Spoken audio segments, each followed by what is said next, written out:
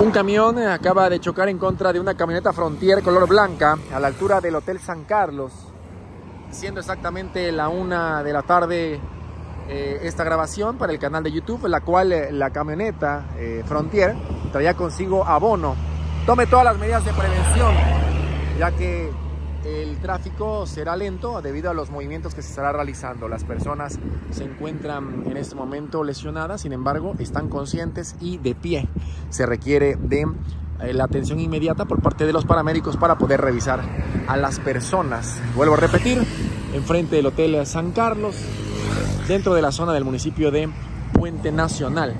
Pueden apreciar que ahí eh, en, lo que es este accidente que se registra, el tránsito eh, o la gente, los automóviles, se van hacia lo que es el carril de alta para evitar algún desperfecto. Está escurriendo bastante líquido, mucho líquido, ahí podemos apreciarlo y esto es peligroso también.